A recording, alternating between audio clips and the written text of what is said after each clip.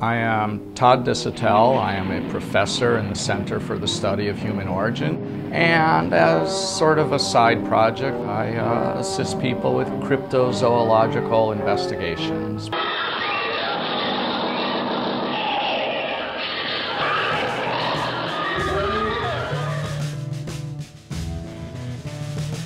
This past summer, I was enlisted by Spike Television on a new show they were developing called $10 Million Bigfoot Bounty. $10 million at stake if any of you can provide definitive DNA and visual proof of Bigfoot. These teams of hunters would go out all night, bring me samples at 6 in the morning, and by the late the following afternoon, I had to complete the entire DNA analysis. I designed and built a portable DNA lab that we actually took out to the Pacific Northwest so we were able to test hundreds of samples very rapidly using a state-of-the-art DNA laboratory to see if they may have found Bigfoot or definitely did not.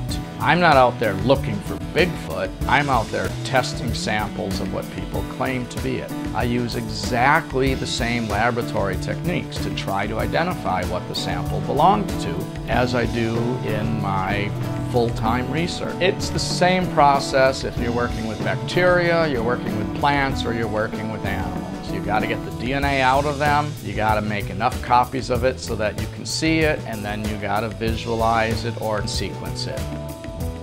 So it's, it's a fun aside.